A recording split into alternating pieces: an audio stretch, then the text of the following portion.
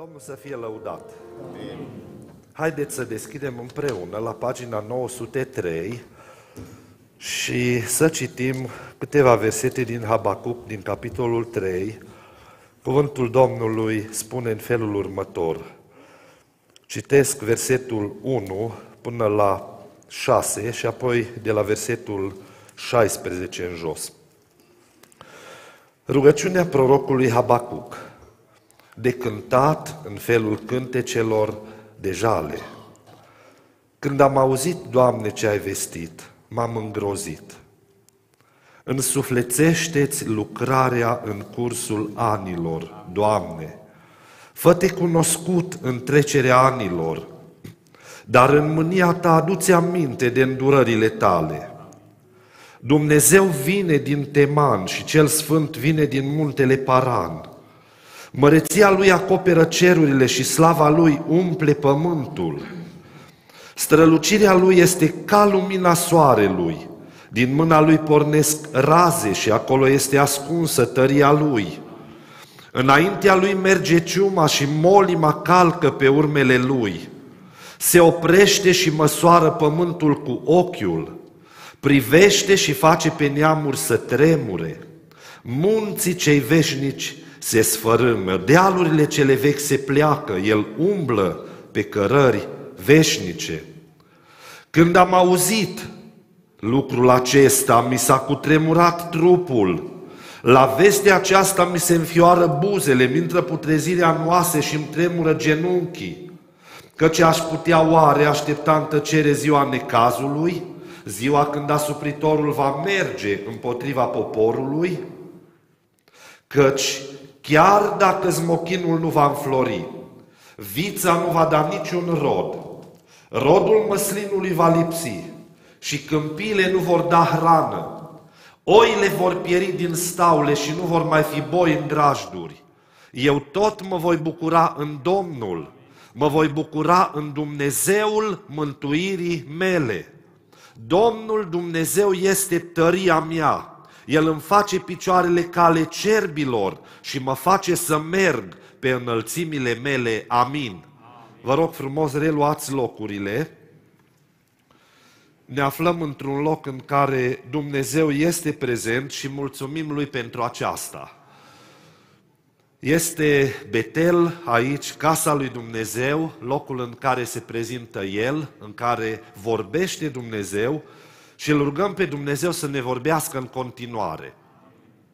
Haideți să ne uităm puțin în Habacuc, este aici un al 151-lea psalm din Biblie, este psalmul lui Habacuc, chiar dacă e numit rugăciune, priviți la versetul 1, rugăciune care trebuia cântată, rugăciune care trebuia cântată și vedeți introducerea la acest psalm, la această cântare, la această rugăciune, o face Habacuc în niște termeni de groază, în termeni de groază. Vorbește că el a auzit ceva pe Dumnezeu vorbind și a început să se îngrozească. Dacă ne uităm aici, în cartea Habacuc, numele lui înseamnă cel ce ține în brațe, un nume frumos. A fost contemporan cu Ieremia, undeva prin anii 607 înainte de Hristos, uh, până în 586, și omul acesta a avut o dilemă, o problemă foarte mare, și anume, Doamne, uite-te că poporul tău este idolatru și e păcătos. De ce nu îl pedepsești? Și Dumnezeu începe și vorbește. Și spune Habacuc, știi ce, m-am gândit să-l pedepsesc, dar știi cum, nu cum te gândești tu, ci în alt fel. Și versetul 6 din capitolul 1 spune planul lui Dumnezeu că Dumnezeu voia să ridice pe Haldei un popor sălbatic, un popor iute și prin ei să-l pedepsească pe Israel. Și acum a doua problemă a lui Habacuc era asta, Doamne, chiar așa? Adică tu vrei să pedepsești niște oameni neascultători prin niște oameni și mai neascultători și mai răi? Și Dumnezeu îi spune, el s-a dus în capitolul 2 la locul lui de strajă, și sta acolo să asculte ce zice Domnul la plângerea asta, la problema asta lui. Pentru că urmau să vină niște haldeni, niște oameni răi care se închinau mrejei și se închinau undițe și se închinau lucrurilor de pe pământ. Măcar evreii se mai închinau din când în când lui Dumnezeu și aici era o mare problemă. Habacuc nu-l înțelegea pe Dumnezeu. De ce vrea să-i pedepsească pe evrei? Prin haldei. Care-i problema? Și zice, m-am dus la locul meu de strajă și stam pe turn și voiam să văd ce îmi va răspunde Dumnezeu la plângerea mea. Și Dumnezeu nu i-a spus altceva decât, știi ce, Habacuc, ai auzit clar ce ți-am zis, tu sapă și scrie prorocia asta pe niște table să se poată citi ușor. Că este o prorocie care se va împlini negreșit și nu va, nu va întârzia. Acum, ceea ce mă uit aici în capitolul acesta, în 3, uh, vreau să extrag, scuzați-mă că nu stare obișnuit cu microfonul ăsta, uh, în capitolul 3 din uh, Habacuc de aici, ni se vorbește despre ce înseamnă credință în vremurile de criză. Credință în vremurile de criză. Și m-am gândit și m-am tot rugat și am zis, Doamne, te rog frumos, dăruiește ceva pentru frați, pentru surori, ceva actual.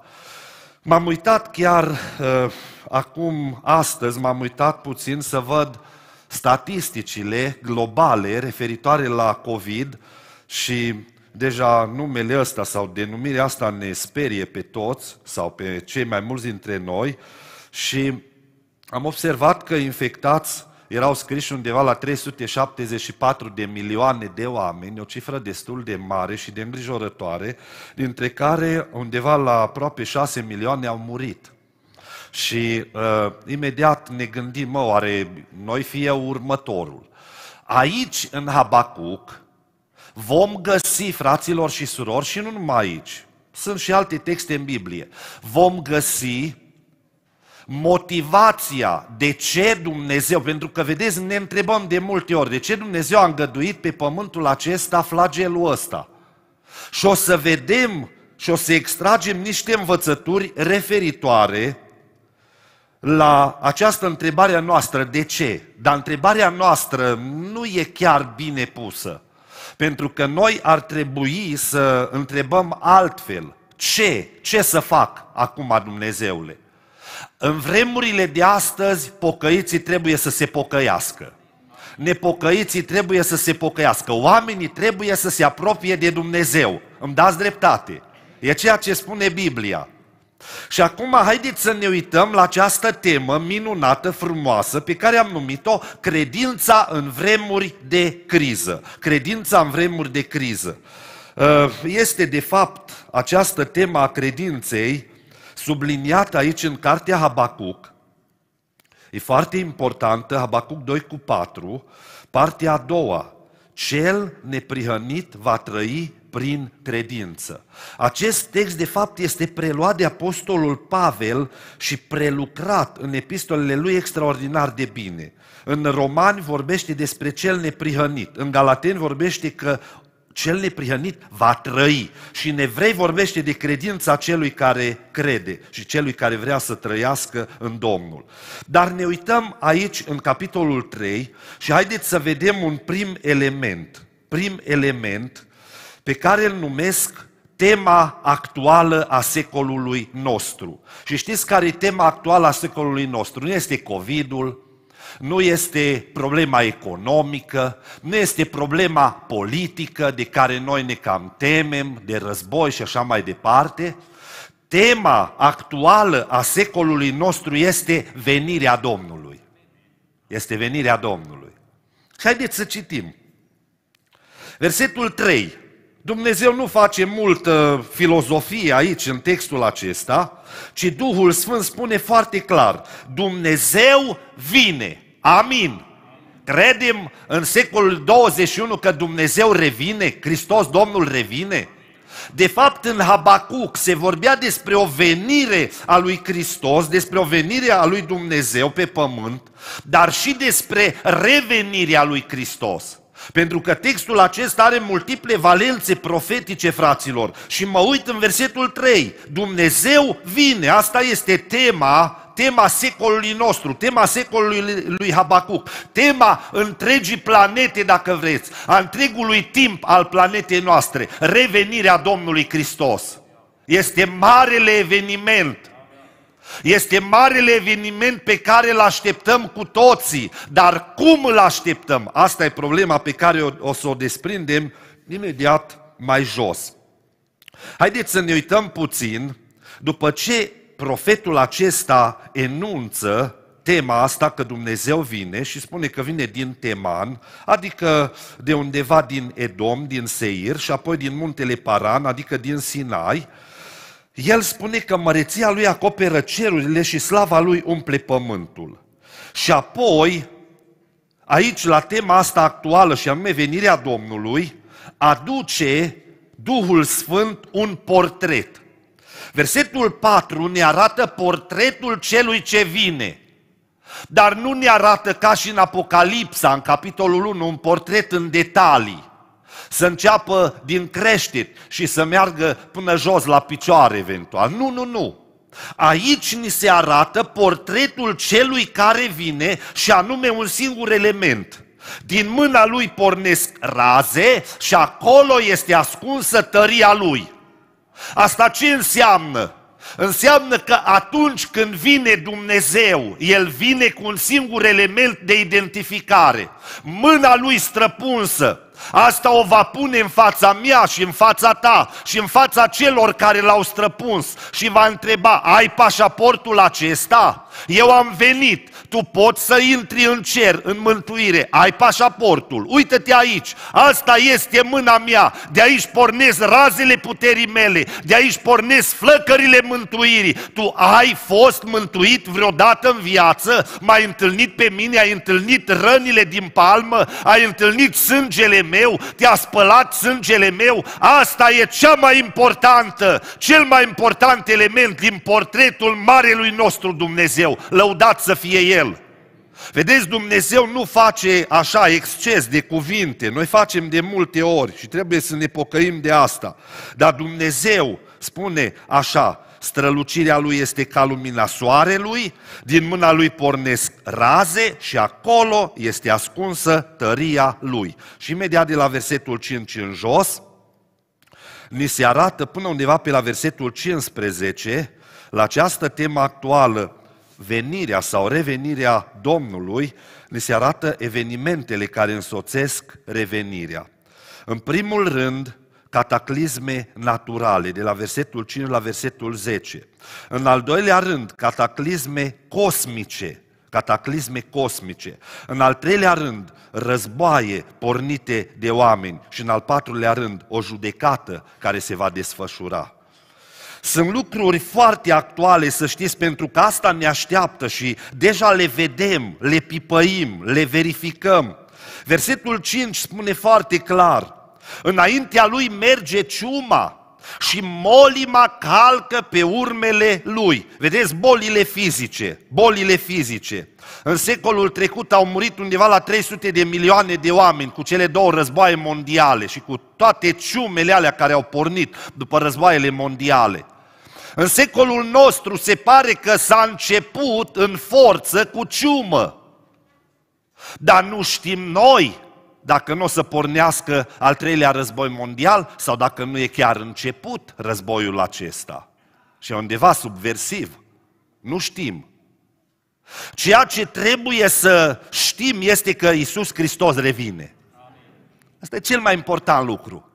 Pentru că vedeți elementele revenirii Domnului. Înaintea lui merge ciuma, molima calcă pe urmele lui. Versetul 6 se oprește și măsoară pământul cu ochiul, privește și face pe neamuri să tremure. Munții cei veșnici se sfărâmă, dealurile cele vechi se pleacă, el umblă pe cărări veșnice, cu tremure, fraților, cu tremure. Ne uităm și ne îngrozim când vedem câte cutremure scutură planeta aceasta, în Japonia, în alte părți. Câte cutremure. De ce? Domnul revine, e foarte clar. Apoi, ne uităm versetul 7. Văd corturile Etiopiei pline de groază și se cutremură colibele din țara Madianului. Deja aici e un al treilea element, boli psihice, boli psihice. Se spune că undeva la 450 de milioane de oameni erau bolnavi de depresie și de boli psihice înainte de COVID-ul ăsta. Acum cred că au depășit 700 de milioane. Pentru că oamenii au început să se sperie, au început să se ascundă, au început să aibă probleme psihice. Și Biblia spune foarte clar, văd corturile Etiopiei, sunt pline de groază, colibele din țara Madianului, pline de groază, groaza cu treieră planeta, oamenii sunt bolnavi de groază. Și un element care generează groază, să știți, este aparatul ăsta pe care îl ținem în buzunar, telefonul. Că intrăm și verificăm și vedem și imediat ne speriem. Imediat, să știți că e o problemă, asta e o problemă. Dacă vezi că îți generează groază și frică, mai bine nu-l mai verifica, poate ești mai slab de înger. Sau, mai bine să-ți protejezi inima, cum spune psalmistul și cum spune înțeleptul, că din inima omului ies izvoarele vieții și trebuie protejată inima. Mai bine așa decât să fii tare și să cazi Mă uit mai departe, fraților, și sunt elemente care însoțesc revenirea Domnului Hristos. Inundații, inundații, un alt element, versetul 8. S-a mâniat oare Domnul pe râuri? Împotriva râurilor se aprinde mânia ta? Sau împotriva mării se varsă urgia ta? Deja am auzit de nu știu ce, tsunami, nu știu pe unde, extraordinar. Versetul 9, partea a doua tu despici pământul ca să dai drumul râurilor. Vedeți, sunt elemente care însoțesc revenirea Domnului. Dar răspunsul nostru la acestea ar trebui să fie credința, fraților. Credința, credința. Și vreau să vă spun o experiență pe care o povesteau frații din Bihor, în Bihor a fost un om al lui Dumnezeu cu numele de Pavelia, un om deosebit pe care Duhul Sfânt îl folosea, era un proroc al Domnului și la un moment dat, acolo în Husasău la ei, au uh, pornit crișurile, s-au revărsat și apele începeau să inunde, să golească așa uh, tot satul acela, toată localitatea de oameni. Fugeau oamenii din toate părțile, ca potârnichile să scape, apele veneau. Au venit jandarmi, au evacuat totul și la un moment dat fratele Pavelea se oprește și zice, eu de aici nu mă mai duc, eu stau aici. Și au venit jandarmi, mă omule, ce cu tine? Te rog frumos, du-te. Nu, nu, nu, zice, eu stau aici, eu rămân aici, în locul ăsta rămân. Dar de ce? Am văzut un înger al lui Dumnezeu, a venit cu un toiag și a tras, uite, așa o linie. Și au zis, până aici să vină mândria valurilor tale apă. Și zice, eu, eu cred pe Îngerul lui Dumnezeu, eu de aici nu mă mai duc. Apele nu o să treacă de aici, că am văzut clar că și vecinii, uh, când au auzit, vecini nepocăiți, vecini care nu-L cunoșteau pe Dumnezeu, au zis, rămânem și noi cu El, că stai omul lui Dumnezeu. Și au rămas acolo. Apele veneau până la picioarele omului lui Dumnezeu și se retrăgeau. Așa cum spune în Biblie, eu am pus mării ca hotar nisipul, urlă valurile ei, dar nu trec hotarul, așa a zis Dumnezeu. Așa a făcut el un hotar acolo într-un sat sub ochii unui om care credea. El a crezut și Dumnezeu l-a izbăvit. Slăvit să fie Domnul. Și vedeți, sunt, astea sunt deja cataclisme naturale, de la versetul 5 până la 10, dar pornesc cele cosmice, și deja se vorbește de încălzire ă, globală, de stratul de ozon care dispare, de tot felul de lucruri. Oamenii încearcă să-și cumpere locuri pe lună, costă foarte mult, să știți, să-ți cumpere un loc, un loc de veci pe lună. Te gândești că aici cine știe, arde, dar ce mai contează carcasa asta? Nu mai, da, oamenii își caută și își cumpără, încearcă, încearcă. Cataclisme cosmice. Priviți versetul 11 soarele și luna se opresc. Extraordinar. Au mișcarea de rotație și de revoluție. Dar se opresc, se opresc în locuința lor. De lumina săgeților tale care pornesc, de strălucirea suliței tale care lucește. De ce? De ce se întâmplă lucrurile acestea? Și se vorbește despre descentrarea sistemului nostru planetar. Și de aceea se și încălzesc și de aceea mările, pentru că să știți că mările au corespondență cu luna. Luna are un magnetism prin care uh, păstrează mările în limitele lor și în momentul în care luna se depărtează numai puțin de pământ, deja suntem terminați, vin apele pe noi. Și se vorbește mult și de chestiunile astea. Dar priviți ce spune aici, soarele și luna se opresc în locuința lor. O să pornească un cataclism cosmic. De ce? Vine Domnul. Versetul 12 la 15, războaie. Zdrobești neamurile în mânia ta. Ieși ca să izbăvești pe poporul tău, să izbăvești pe unsul tău, sfărâme acoperișul casei celui rău străpungi capul căpetenilor. Deja e vorba aici de război, cu caii tăi mergi pe mare, pe spuma apelor mari. Ce vapor poate să meargă pe spuma apelor? Niciunul, niciunul. Și se întâmplă ceva, fraților și surori, se întâmplă ceva, vine judecata lui Dumnezeu. Dar înainte să trecem la partea asta, la partea a doua, Vreau să vă spun că răspunsul, chiar și la război, pentru că se tot vorbește în ultima vreme de război, răspunsul nostru, chiar și la problema războiului, e tot credința în Dumnezeu. Cel neprihănit va trăi prin credință. Povestea uh, un frate de la noi, un frate bătrân, că în București, la un moment dat, când au început bombardamentele în timpul celui de-al doilea război mondial, fratele Caraman care a fost inamicul numărul unu al comuniștilor, îl urmăreau peste tot și a făcut ani de închisoare, ani grei de închisoare, omul acesta era la un moment dat sub asurzirea sirenelor și oamenii fugeau din toate părțile să caute adăposturi și să se adăpostească undeva, că știau că vine bombardamentul. Fratele Caraman mergea liniștit spre casa lui. Pe drum întâlnește pe niște oameni disperați. Domnule, nu știu unde este un adăpost subteran, am vrea să alergăm într-un adăpost. Zice, eu știu unde este un adăpost, nu-i subteran, dar e cel mai sigur. Bine, venim cu dumneata și s-au dus. Bătrânul i-a dus în căsuța lui micuță. Oamenii s-au uitat la el și l-au întrebat, coborâm în pivniță? Zice, n-am pivniță. Măi, omule, tu ne-ai păcălit. Nu, ce nu v-am păcălit? Puneți-vă pe genunchi ca să vedeți cel mai sigur adăpost. Nu-i subteran, ăsta e din ceruri. S-au pus pe genunchi, n-au mai avut ce face, unde să mai fugă? Începea bombardamentul. Și fratele începe să le citească cuvintele psalmului 91. Cel ce stă sub ocrotirea celui preanalt, și se adăpostește la umbra celui atotputernic, zice despre Domnul. El este locul meu de scăpare și cetățuia mea, Dumnezeul meu în care mă încred. Și le-a citit psalmul acesta și a zis că ei fiecare cum știe să se roage, că Dumnezeu e Cel care își întinde aripile peste noi. Și au început să strige ca și corăbierii de pe corabia lui Iona, fiecare în limba lui și în felul lui și în închinarea lui. Unul spunea Tatăl nostru, altul spunea ce știa, dar strigau cu toții la Dumnezeu să izbăvească. Și a venit bombardamentul și a trecut și culmea, mă, căsuța moșului n-a pățit nimica.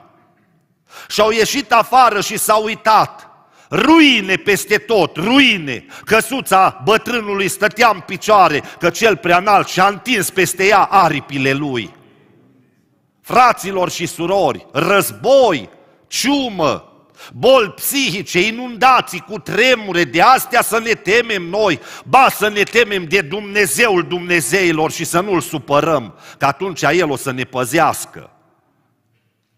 Eram la Râșca, cu mulți ani în urmă, la Râșca în munte, acolo lângă Huedin, și ies din biserică o bătrânică micuță acolo printre alții, plângea.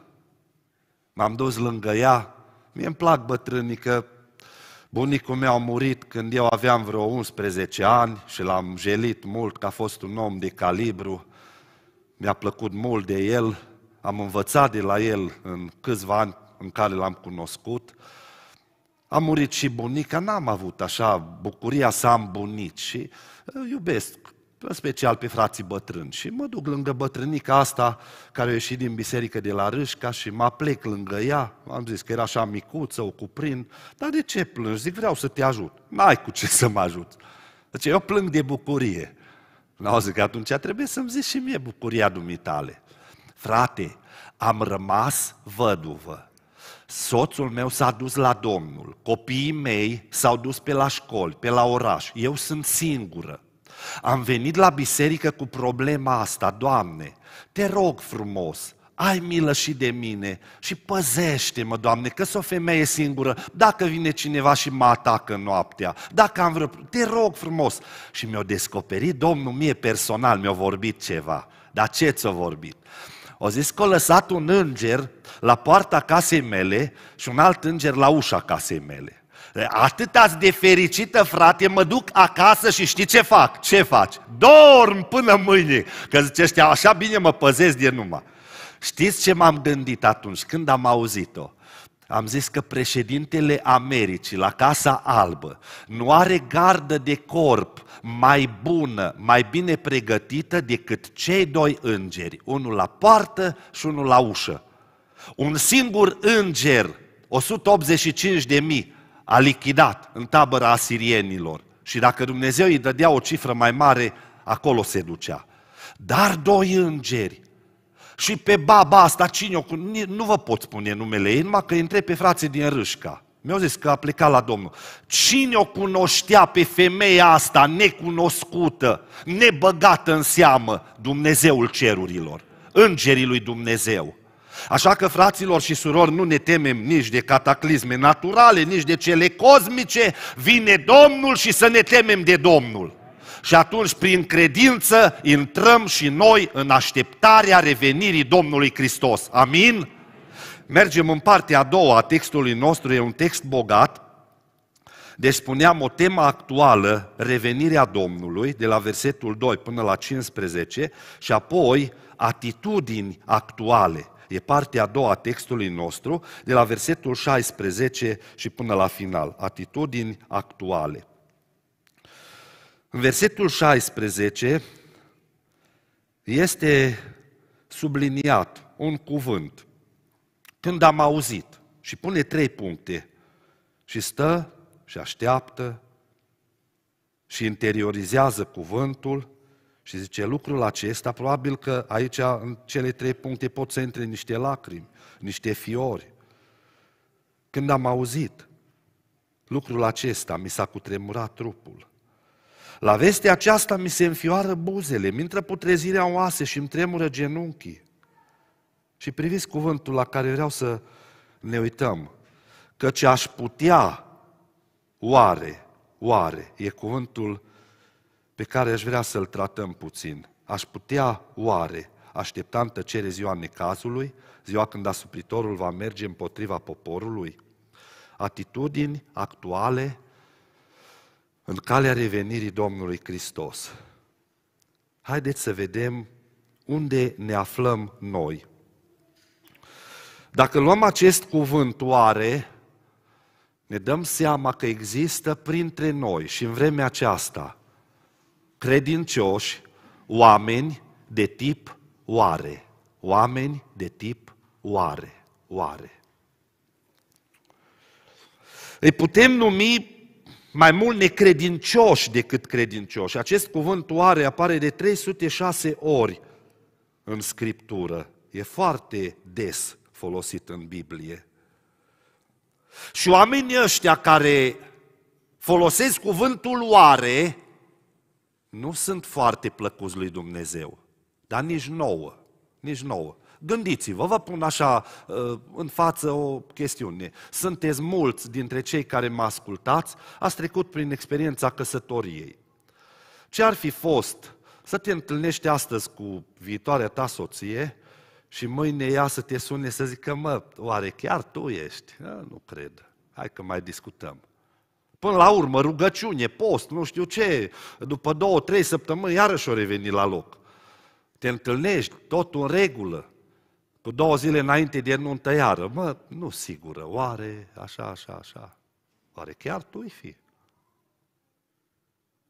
Dacă nouă nu ne place asta, da la Dumnezeu. Oameni care vorbesc cu acest cuvânt oare și amintiți-vă că în Geneza, în capitolul 3, cu versetul 1, primul personaj care a rostit acest cuvânt oare a fost șarpele. Oare a zis Dumnezeu cu adevărat? Vedeți de unde pornește necredința? Din inima șarpelui. Și acum tu pe cine crezi? Pe șarpe sau pe Dumnezeu? Adam a ales să-l creadă pe șarpe și a ajuns rău. Noi pe cine credem? Vreau să vă spun aici într-o paranteză, era pe vremea comuniștilor, într-o biserică, știu că și la voi uh, există o istorie frumoasă a bisericilor de aici, din Târgu Mureș, cu frații de demult, cu fratele Pop, cu fratele Gusti și așa mai departe, lucruri frumoase și uh, opresiuni din partea comuniștilor și împotriviri și tot felul de lucruri. Era o biserică, așa cum erau în general toate bisericile penticostale din România, o biserică în care, din cauza înmulțirii membrilor, s-a discutat ceva Exista un zid undeva acolo mai pe la, prin spatele bisericii așa și dincolo de zidul ăsta era o încăpere mai mare. Și frații s-au gândit să dea zidul jos și să facă sala mai mare, să poată încăpea, că nu mai încăpeau în sală. Și păstorul, vă dați seama, responsabilitate mare pe ceilalți puțin îi interesa că cine mergea să dea cu subsemnatul era păstorul și recunoaștem, greu, greu, greu, de tot a fost. Dar a vorbit și Duhul Sfânt și le-a zis că trebuie să facă lucrul ăsta, că nu o să aibă probleme. Dar păstorul a rămas tot așa, oare facem, oare nu facem, oare, oare, oare. Și a venit un bătrân și a zis așa, auzi frate, știi ce văd eu aici? Zice, Domnul cu îngerii lui stau aici de partea asta a zidului și îl împing să cadă. Și tu stai de partea cealaltă și îl ții. Unde vrei să mergi? Vrei să te duci de partea Domnului? Sau stai acolo cu alții? Că știu că ți-e frică. Și o trebuie să-și recunoască, pentru că, vedeți, păstorii nu supra-oameni, sunt oameni și ei, supuși slăbiciunilor. Și de aceea să ne rugăm pentru cei pe care Dumnezeu i-a pus în vremea asta în fruntea poporului său. Domnul să-i întărească, Domnul să-i binecuvinteze, Domnul să aibă milă de familiile lor. Spunea soția fratelui Sandu un cuvânt care, nu știu, mi-a mers așa odată la, la inimă și mi-a rămas acolo. Zice, soția unui slujitor, zice ei, ca o văduvă cu soț. Ca o văduvă cu soț. Zice, îl vede foarte rar și zice, asta este. Și probabil că a avut dreptate, să știți. Dar mă uit aici și haideți să revenim la tema noastră. Oamenii de tip oare. Oare a zis Dumnezeu cu adevărat, spune șarpele. Asta înseamnă că necredința noastră nu-L mai vede pe Dumnezeu la lucru. Îl elimină din ecuație. Dar mergem în numeri în capitolul 20 cu versetul 10 și acolo îl găsim pe un om mare al lui Dumnezeu care ajunge să pronunțe cuvântul oare. Ascultați, răzvrătiților, vom putea noi, oare? Necredința și acest cuvânt, oare, să știți că nu ne mai vede pe noi în stare să facem ceva bun pentru Domnul. Și să știți că în perioada asta în care COVID-ul ăsta seceră vieți, noi putem să alegem să-l îmbrățișăm pe oare și să spunem, oare să mă mai duc în misiune? Nu mă mai duc. Oare să mă mai duc în vizite la X și Y? Nu mă mai duc. Oare să mă duc să vestesc Evanghelia? Nu mă mai duc. Și ajungem chiar la situații limită. Și am auzit și vă dați seama, așa provocări ca în epoca asta a COVID-ului n-au mai fost niciodată. Au fost situații limită în care păstorul, și v-aș putea da nume, dar nu vreau să vă dau nume. Nu vreau. Nu vreau, pentru că așa e bine. Păstorul sună pe un frate, hai frate cu tare, trebuie să slujești. Zice, eu vin și slujesc, dar dacă mă infectez, te dau în judecată. Ați auzit? Ați auzit? Situații limită. Situație limită. Și Biblia spune nu, oare trebuie eliminat. Ăsta nu-i de la Domnul. Ăsta e cuvântul șarpelui, ăsta e cuvântul lui Sambalat, care o zis așa, Oare vor zidi, oare vor isprăvi, oare vor da ei viață unor pietre? O, se suie o vulpe și le dărâmă zidul lor.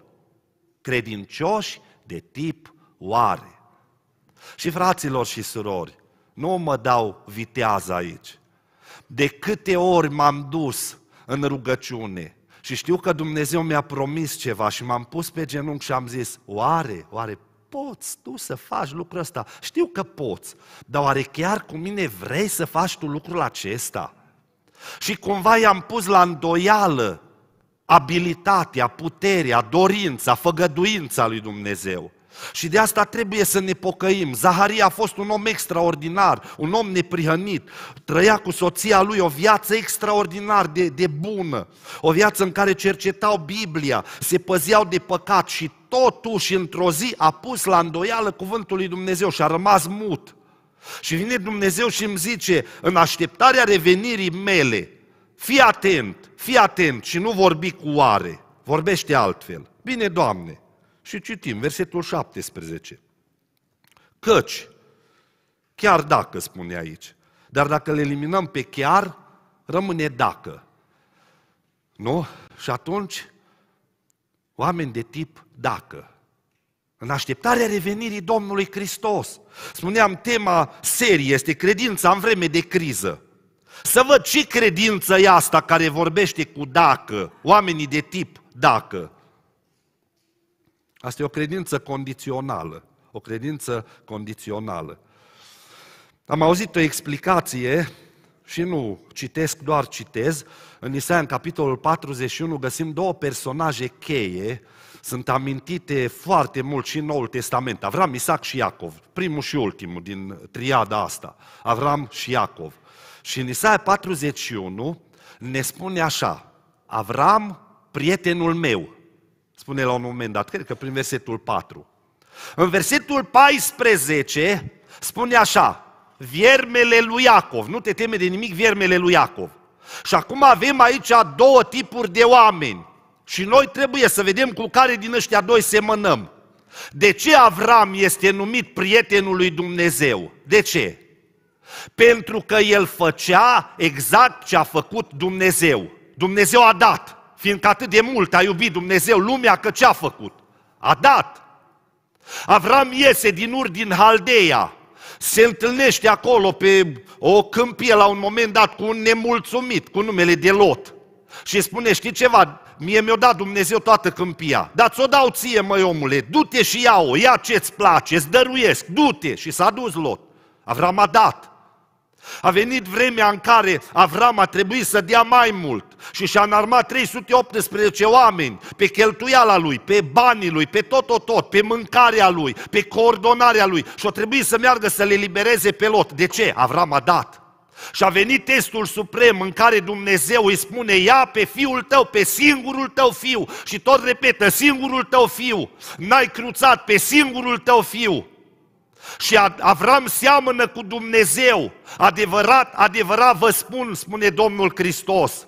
Și e foarte mare adevărul acesta. Nu se naște un om dacă nu se naște din apă și din Duh, nu intră în împărăție. Dar cum pot să mă nasc? Păi uite cum, prin jertfa lui Hristos, Moise a înălțat șarpele în pustie, la fel va fi înălțat și Fiul omului, ca oricine crede în El să nu piară și să aibă viață veșnică. Dar cum e asta? Ioan 3 cu 16 fiindcă atât de mult a iubit Dumnezeu lumea că a dat pe singurul său fiu. Avram semăna cu Dumnezeu că era dispus să dea și a dat fiul. A vrut să renunțe la el. Și e numit prietenul lui Dumnezeu în Isaia 41. Dar în 41 cu 14, Iacov e numit Acolo scrie viermele lui Iacov, dar în original e vierme Iacov. Nu te teme de nimic, vierme Iacov. L-a numit Dumnezeu vierme. Știți de ce? Ăsta era cu ciupitul. Numai să primească, numai să primească, numai să primească. Și viermele cât e de mic. Nu se face șarpe, cu cât mănâncă mai mult, el rămâne tot vierme. Nu se face râmă, tot vierme rămâne, tot micuț rămâne. Dar mâncă, domnule, un vierme de nu-ți vine să crezi cât. Și aici Domnul vede pe Iacov, care cere, cere, cere, cere, ca pe un vierme, viermele Iacov. Doamne, fiți atenți, fiți atenți.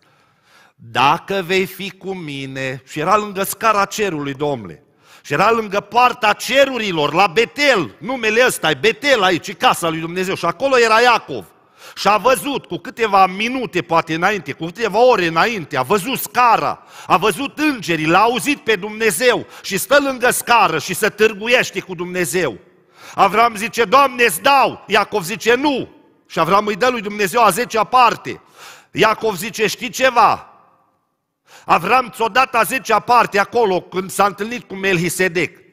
Dacă vei fi cu mine în călătorie, dacă îmi vei da haine, dacă îmi vei da mâncare, dacă îmi vei da protecție, tu vei fi Dumnezeul meu și îți voi da zeciuială. Creștini de tip dacă.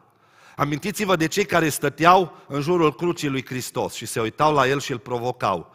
Există șapte cuvinte ale crucii de sus, rostite de Domnul. Dar există șapte cuvinte rostite lângă cruce. Între ele, trecătorii, dacă ești Fiul lui Dumnezeu, preoții, dacă ești Fiul lui Dumnezeu, soldații, dacă ești Fiul lui Dumnezeu, diavolul în pustie, dacă ești Fiul lui Dumnezeu. Lui Dumnezeu nu-i plac oamenii care vorbesc cu termenul dacă, acești creștini condiționali. Povestea fratele Ghițu, când eram copil, că la Câmpia Turzii a venit unul și a zis, eu mă pocăiesc dacă îmi luați o Lada, știți că erau pe timpul comuniștilor mașinile alea, Trabant, Dacia, Lada și Skoda, cred că astea erau singurele, ba, mai era și Volga, mi se pare. Deci cam astea circulau. Și ăsta au zis că dacă îmi luați o Lada, și frații au făcut așa pe neștiutori și au zis, auzi, vrei uh, ladă de făină? Nu, nu, nu, zicem, trebuie ladă pe patru roți. Și răspunsul oamenilor Domnului a fost acesta – dacă nu te pocăiești, ajungi tu într-o ladă sub pământ. Asta a fost. Oameni care vin cu dacă. Eram în câmpia Turzii și nu vreau iară să dau nume, doar vă spun. Și vine în biserică un om schimbat la față așa, supărat, necăjit, stă acolo pe bancă, frații se duc la el, bine ai venit. Ă, da, da, zice, eu sunt băiat de pocăiți, dar până la vârsta asta de 50 și nu m-am pocăit, că nu mi-a trebuit Dumnezeu, dar acum am o strâns cu ușa Dumnezeu, copilul meu e în închisoare. Dacă vă rugați, dacă copilul meu scapă din închisoare, mă pocăiesc. Și s-au rugat. Copilul lui a ieșit din închisoare, el nu s-a pocăit. Oameni de tip dacă, în așteptarea Domnului Hristos. Și aici, fraților și surori, deja ni se provoacă, așa să zic, credința, pentru că versetul 17 spune alt cuvânt, sau sintagmă să o numim, chiar dacă. Și deja aici suntem puși în fața crizei, credința în criză, credința în criză. Asta trebuie să vedem noi ce cum ne manifestăm noi credința în vreme de criză. Că ne dă Biblia aici rețeta. Domnul oricum vine. Cum spunea, era un frate tare drăguț, undeva către Baia Mare și foarte deștept bătrânul, s-a dus cineva la el și a zis, vai de mine, zice, tu stai aici la capătul satului. Zice, depinde de unde intri în sat. Le-a dat un răspuns foarte bun. Și bătrânul ăsta vorbea de revenirea Domnului, că s-au dus mulți. Frate, zice, când vine Domnul? Știa Biblia, vă spun, m-a uimit omul ăsta. Zice, deschideți fraților la pagina 800 și citiți versetul cu tare, cu tare, e pe partea nu știu care. Extraordinar. Știa Biblia foarte bine. S-au dus la el și l-au întrebat, când vine Domnul? Când vine Domnul? Când vine? Asta era întrebarea. Și bătrânul le-a răspuns în felul următor. Treaba mea nu-i să știu când vine vecinul meu, Treaba mea e să nu mă prindă în livadă că-i fur merele. Asta e treaba mea. Și cu asta le-au răspuns. Treaba mea nu e să știu când vine Domnul. Treaba mea este să fiu bine cu cel care vine. Să am credință în el. Cel neprihănit va trăi prin credință. Credință în vreme de criză, fraților. Și aici vedem acest chiar dacă, această sintagmă, creștini, oameni de tip chiar dacă, nebunia credinței dacă vreți. Am avut noi un om al nebuniei credinței la Cluj, îl chema fratele Tanța, cred că ați auzit. O devenit omul ăsta sau numele ăsta o legendă. Băiatul lui știa multe versete, a plecat și el la Domnul, cred că a fost și pe aici, dar bătrânul a fost de o credință extraordinară. Mergea, primea cârje în cap, îi curgea sângele, zicea Domnul să te binecuvinteze, uh, se pocăia oamenii, zicea Doamne, fi lăudat că pentru o cârjă în cap s-a pocăit un suflet. Era un om al credinței, al nebuniei credinței, un om extraordinar. Și Dumnezeu așteaptă astfel de oameni și în vremea asta, nebunia credinței, chiar dacă. Și haideți să punem așa ipotetic, spune aici, Chiar dacă smochinul, versetul 17, el citim, chiar dacă smochinul nu va înflori, ce înseamnă asta? Păi, din magazine nu mai vezi că dispare dulceața, fructele și așa mai departe. Cam asta însemna în societatea lor agrară toată chestiunea asta. Vița nu va da niciun rod Adică nu vor mai fi sucuri, nici pe la Lidl, nici prin Julius Mall, nici prin Oșan, pe, peste tot mic. Nu, nu, nu mai sunt sucuri, s-o terminat cu ele. Vița nu mai dă rod. Rodul măslinului va lipsi. Uleiul, cosmeticele dispar. Rafturi goale. Ce faci? Și Abacuc ne spune imediat ce face el. Câmpiile nu vor da hrană ce înseamnă asta? Pâinea care se obține din grâu, vegetalele, morcov, pătrunjel, nimic, nu mai găsești nimic, mă, la raftul ăla sau la, la, la, uh, acolo, la raionul ăla, nu mai este, pentru că e gol, totul e gol. Și aici pune Habacuc o problemă, zice, dacă s-ar întâmpla așa, ce voi face eu? Oile vor pieri din staule. Asta ce înseamnă? Nu mai avem haine, nu mai găsim haine nicăieri. S-a terminat cu materia primă pentru haine. S-a terminat carnea, nu mai avem carne. S-a terminat laptele, nu mai avem. Nimic nu mai avem. Boii vor dispărea din drajdul, spune tot Habacuc. Ce voi face? Boii din vremea de atunci era puterea tehnologică, să o numesc așa. Cu boii se ara câmpul, se prelucra tot. Și mă gândesc, să nu mai existe la benzinării motorină, gaz, benzină, mașinile să se oprească toate, să înlemnească acolo, să stea uh, pe marginea drumului, nu mai au nu, nimic. Curentul dispare, a fost o farsă uh, aceea că dispare curentul și așa mai departe. Nu, nu credem lucrurile astea, astea sunt pentru copii. Dar dispare, la un moment dat se întâmplă chestia asta și nu mai ai putere, nu mai ai nimic. Din ce înseamnă tehnologie? Ce faci, Habacuc? Și ce faci tu, om din secolul 21, care aștepți revenirea Domnului Hristos? Depinzi de ele, te-o prins cumva cu vreun cârlig? Cosmeticele sau uleiul sau mâncarea. Am citit odată și m-am mirat. Un caz izolat, ciudat, în Belgia de astăzi, numită în uh, Evul Mediu țările de jos, a existat unul cu numele de Reginald al III-lea, urma să devină, să ocupe tronul tatălui său și ăsta era așa de gras că fratele lui mai mic, a făcut o stratagemă și l-a închis, o zidit așa în jurul lui, o să că face o, o jucărie, a făcut o jucărie. Și ăsta nu prea îl ducea nici mintea bine. Zice, hai să văd ce jucărie îmi faci. Și l-a zidit, uite, așa, într-o cameră. Și a făcut o ușă mică. Și a zis, atunci când o să slăbești, atunci o să ocupi tronul tatălui meu. S-a dus el și l-a ocupat. Piticul. Și ăsta Vroia să slăbească, dar în fiecare zi bucătarii veneau cu tăvile. și adia mirosul și ăsta. Zece ani o stat în închisoarea lui, cu ușa deschisă, dar nu putea să iasă pe ușă nici așa, nici cum nu putea. Nici cu capul înainte, era micuță. Trebuia să slăbească și nu putea să slăbească. Și până la urmă, după 10 ani a murit, l-au îngropat și a rămas frate A fost foarte deștept fratele lui. Da, vedeți, sunt unii care depind de smochin, de viță, de măslin, de rodul câmpilor, de oi și așa mai departe, de tot ce înseamnă produsele astea pe care le găsim în magazine. Și ce face atunci când vine diavolul și oamenii din lume și spun așa, îl vinzi pe Hristos cu umblit de linte? Sau ce faci? Ești un creștin de tip oare? Pot eu să întreb, mă, poate Dumnezeu mă binecuvintează. Și fac și eu, cum uh, spuneau unii și explicau acolo versetul ăsta așa mai hazliu din Daniel, că trei tineri orfozii care nu s-au închinat la idolul ăla, dar au fost alți trei sau zece sau douăzeci care s-au legat la papuci. Nici nu s-au închinat, nici nu au fost contra închinării ei, au fost cu un fel de compromis. Ce faci atunci când vine diavolul și îți spune în față, ori cu Dumnezeu, ori îți dau, uite, toate produsele astea. Dacă nu mori de foame, ce faci? Și aici spune omului Dumnezeu așa, chiar dacă smochinul nu va înflori, vița nu va da niciun rod, rodul măslinului va lipsi, câmpiile nu mai dau hrană, oile pierd din staule, boii din grajduri, eu tot mă voi bucura în Domnul, mă voi bucura în Dumnezeul mântuirii mele, slăvit să fie Domnul. Căci chiar dacă smochinul nu va înflori, mie îmi rămâne pomul vieții, fraților. Ce îmi trebuie mai mult decât pomul vieții din împărăția lui Dumnezeu, din raiul lui Dumnezeu?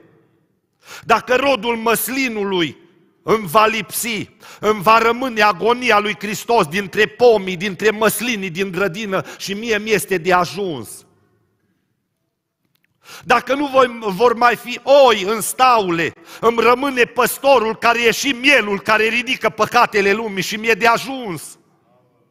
Dacă nu vor mai fi boi în grajduri, îmi rămân acolo în cer îngerii lui Dumnezeu care sunt cu mult, cu mult, cu mult superior animalelor de aici și îmi rămân sfinții lui Dumnezeu și îmi rămâne marea de cristal, îmi rămân cele mai importante lucruri. Oamenii pot să-mi ia casa asta și casa asta trupească, dar să nu mi-o ia pe cea de sus, pe cea lui Dumnezeu.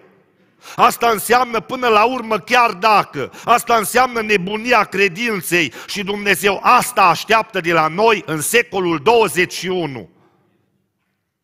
Credință în vreme de criză. Spuneam, o temă actuală, revenirea Domnului, însoțită de cataclisme naturale, cosmice, război, judecata viitoare, nici n-am vorbit de judecată, că era o altă temă. Și apoi atitudini actuale, în așteptarea revenirii Domnului, oameni de tip oare, oameni de tip, tip dacă, oameni de tip chiar dacă. Și Dumnezeu zice nu, nu, mie nu-mi place nici de primul tip de oameni, nici de al doilea, mie îmi place să fiu un om cu chiar dacă. Amintiți-vă de omul acela, de Iov, care în capitolul 19 spune știu ceva, că răscumpărătorul meu este viu, știu că se va ridica la urmă pe pământ. Și știi ceva, Vorbea el cu Duhul lui și vorbea cu prietenii lui și vorbea cu Dumnezeu. Chiar dacă mi se va nimici carnea, nu voi mai avea piele, asta înseamnă că nu o să mai am nici ochi, dar Dumnezeu îmi va da alți ochi. Și ochii mei îl vor vedea și nu ai altuia. Chiar dacă. Închinați-vă în fața zeului, aici, e chipul meu, un chip de aur, închinați-vă. Știi ce împărate? Noi ne închinăm numai lui Dumnezeu. Domnul nostru poate să ne scape din cuptorul aprins, dar chiar dacă nu ne scapă, noi la idolul tău nu ne vom închina. Slăvit să fie Domnul Isus. Fraților și surori, aș vrea să ne ridicăm înaintea Domnului. Haideți să ne ridicăm, vă invit să o facem. Și aș vrea, pentru că e chiar început de an, 2022, Haideți să ne rededicăm viețile în mâna Domnului. Acolo sunt cel mai sigure viețile noastre. Acolo se află în cea mai mare siguranță. În lumea aceasta totul se duce, totul se pierde, Hristos rămâne, cuvântul rămâne, Duhul Sfânt rămâne, Biserica lui Dumnezeu rămâne cât vor ținea viacurile. E stâlpul și temelia adevărului. Tu ești parte din Biserica lui Dumnezeu. Tu ești o cărămidă, ești o piatră vie în trupul lui Hristos. Tu ești mădular în trupul lui Hristos. S-a întâmplat odată și mi-a plăcut mult, o soră, discuta cu cineva și spunea, nu te temi, că o să cazi din mâna lui Hristos. A zis, nu, pentru că eu sunt un mădular și nu-ți pierzi oriunde degetul. Mă duc la Iulius Mol că mi-am pierdut degetul să mi recuperez. Asta niciodată nu se întâmplă. Noi suntem mădulare în trupul lui Hristos. Hristos nu renunță la noi oricum, fraților și surori. Au fost cazuri de 10 ani în lume, de 20 de ani în lume și Domnul a spus, nu l-am lepădat, numele Lui nu l-am scos din carte. Țin minte și cunosc un om care a căzut de la pocăință de vreo 40 de ani. Înainte de această dată de 40 de ani, omul ăsta a fost ridicat de Duhul Sfânt până la tavan aproape. Și o zis, m-a ridicat Domnul și acum ai căzut, e în lume. Și m-a întrebat odată, m-am întâlnit cu el, a zis, am avut un vis. Era o tablă mare cât un bloc cu cinci etaje. Pe tabla asta erau nume de la litera A la Z. Undeva la litera B era și numele meu. Era un pic șters. Oare ce înseamnă? Și am explicat. Hristos, Domnul, încă n-a renunțat la numele tău. Încă te are scris în cartea vieții. Ai căzut de 40 de ani, nu contează. Ești în mâna lui Hristos. Hristos te așteaptă. Fraților și surori, nu-i greu. Haideți să ne rededicăm viețile Domnului și să spunem chiar dacă. Și așa să ne ajute Domnul. Amin.